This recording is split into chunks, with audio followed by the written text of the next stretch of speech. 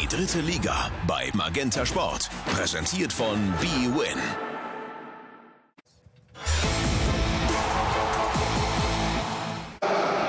Auch im Ostseestadion heute die Gedenkminute für die Opfer von Hanau und die heute im Fußball übliche Aktion gegen Rassismus.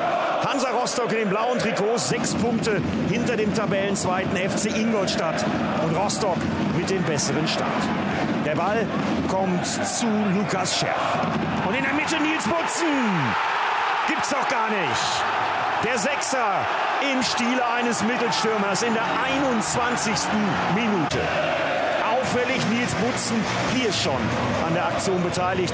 Dann die Flanke von Neidhardt und dann klärt Ingolstadt den Ball nicht richtig. Und am Ende steht es dann 1 zu 0 für den FC Hansa Rostock. Die Rostocker bewiesen Willen, waren aktiver und in den Zweikämpfen deutlich entschlossener. Und die Gäste? Ecke. Und dann in der Mitte der Innenverteidiger. Björn Paulsen artistisch und fast mit dem Ausgleich. Klasse Aktion vom Langen aus der Innenverteidigung. Aber es blieb beim 1 zu 0. Und wieder Hansa Rostock. Opoku setzt sich da schön durch. Durchgesteckt. Und dann John Verhoek letzte Woche zum ersten Mal seit dem 29.04.2018 wieder ein Pflichtspieltor für den Niederländer. Und heute gleich das zweite. Noch einmal die klasse Vorbereitung, auch hier eine Frage des Willens. Kein Abseits. Und dann John Verhoek, das 2 zu 0 in der 34. Minute. Die Hansa Kogge also auf Kurs. Noch nie hatten die Rostocker gegen Ingolstadt gewonnen. Und die Fans schon zur Halbzeit in Feierlaune.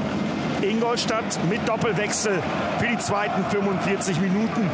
Aber wieder Hansa mit dem besseren Start. Opoko und Schärf über links. Der Ball kommt zu Neidhardt. Und Achtung, da war doch was. Neidhardt beschwert sich und er zeigt genau das Richtige an. Eigentlich hätte es nämlich in dieser Szene elf Meter geben müssen. Deutlicher als Peter Kurzweg mit dem Arm zum Ball geht nicht. Hansa also im Pech. Der eingewechselte Elber für Ingolstadt. Steckt gut durch und Markus Kolke im Rostocker Tor. Kolke hatte in der Relegation für Wien Wiesbaden schon dafür gesorgt, dass Ingolstadt abstieg. Nochmal die nächste Szene hier. Klasse durchgesteckt. Eckert Ayensa, aber ebenso großartig Markus Kolke. Ingolstadt versuchte Druck zu machen, aber es fehlten immer die entscheidenden letzten Zentimeter. Auch hier wieder Kolke mit vollem Risiko. Er verhindert einen Anschlusstreffer der Ingolstädter. Auch hier das Risiko gut zu sehen. Kaya keine Chance gegen den Rostocker Keeper. Und dann dieser Ball von Krause im Mittelfeld. Neidhardt schnell. Breyer mittlerweile eingewechselt. Kaltblütig. Das 3 zu 0, die 85. Minute. Die Entscheidung. Beide Mittelstürmer trafen heute. Und diese Vorbereitung hier war aber ein Geschenk der Ingolstädter. Kein Abseits. Pascal Breyer das 3 zu 0. Die Entscheidung. Jeff Sabine wusste warum.